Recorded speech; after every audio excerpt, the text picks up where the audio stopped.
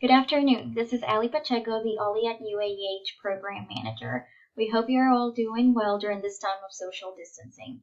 Please know that the CPCS staff is working very hard on finding opportunities for you to participate in, such as lectures, tours, entertainment, and more online.